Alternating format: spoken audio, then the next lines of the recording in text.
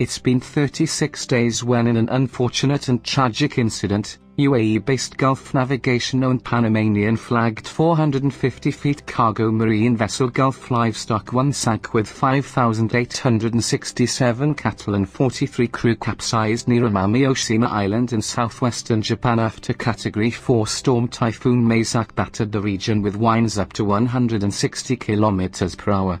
The prayers and hopes of family members of 40 crew from Australia, New Zealand and the Philippines have largely remained unanswered so far.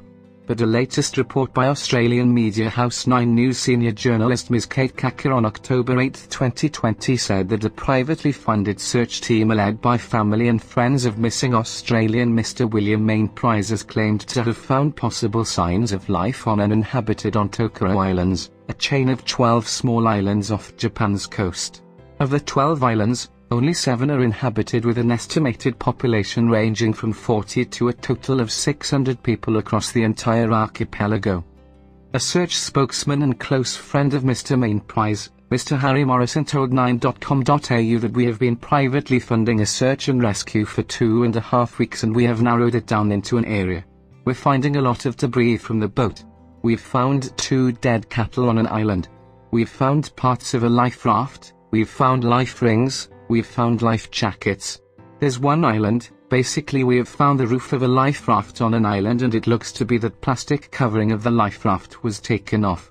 When we found this life raft, we contacted Japanese coast guards and told them and got no response for them. Communication with the Japanese Coast Guard has been very limited. A crowdfunding page Save the 40 of Gulf Livestock One has so far raised more than 116,000 Australian dollars to be put towards private searches of islands.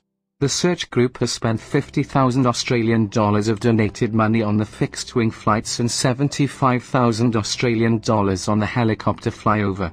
The expenses have dwindled to just 4,000 Australian dollars. International Rescue Instructors Association President Ms. Shauna Ladio told 9.com.au I was contacted to assist with the Hope of SAR on behalf of an Australian family member and we decided to work as a collaborative effort on behalf of all the families.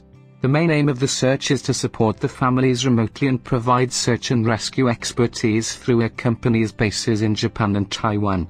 We are using your satellite imagery. Nobody has traveled to Japan because of COVID quarantines. So, this is all done through public assistance and our companies or others friends in the respective countries.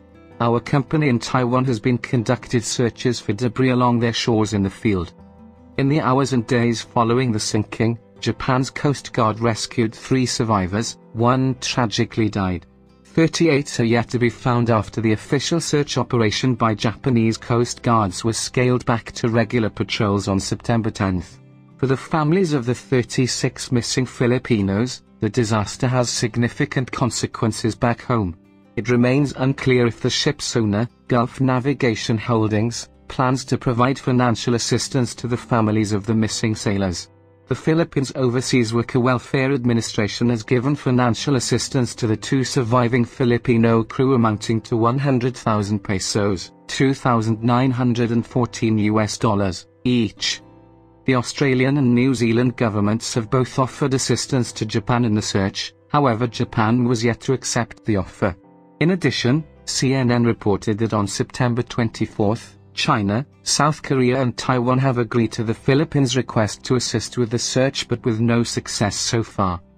The Gulf Livestock One started its trading career as a 630 TEU container ship in 2002 before being converted to carry animals 10 years later. The sunken ship had a checkered past.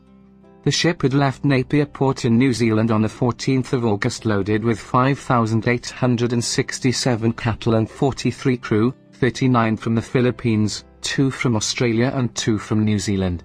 It was headed to the port of Jingtang in Tangshan in China, with the journey expected to take 17 days.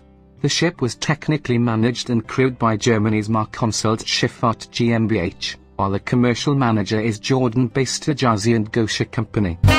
Thank